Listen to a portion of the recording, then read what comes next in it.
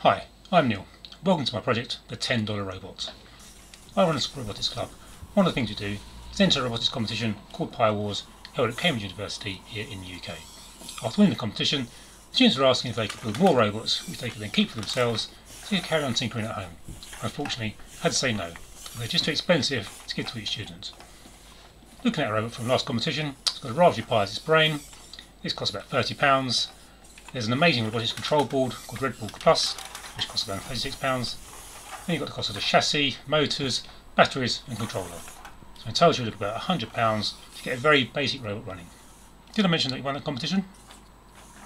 So I then started thinking, what can I do to make a basic working robot for as little money as possible?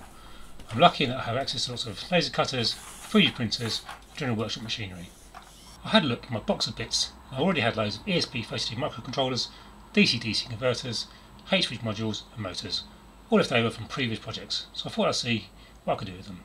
The ESP32 is a great choice for the brain of a robot as it has built-in Bluetooth and Wi-Fi, you can program them in Python or Arduino, there's loads of examples and of course they are very cheap.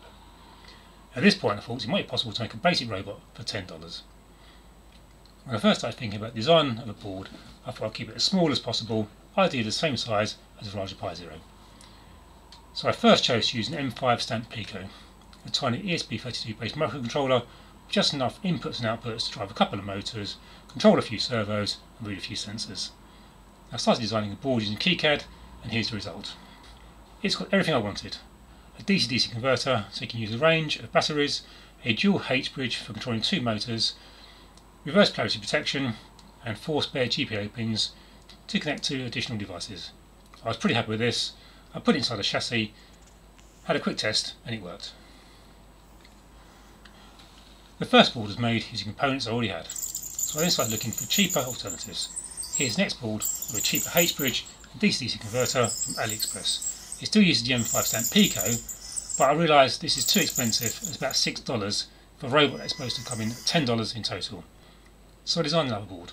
It's got the same H-bridge and DC-DC converter, but instead of the M5 stamp Pico, it's got an ESP32S module like this.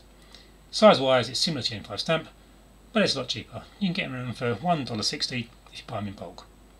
One other issue with these is that you need an additional programmer to load your code into the device, which of course adds to the cost. So when I decided looking at ESP32 dev kits.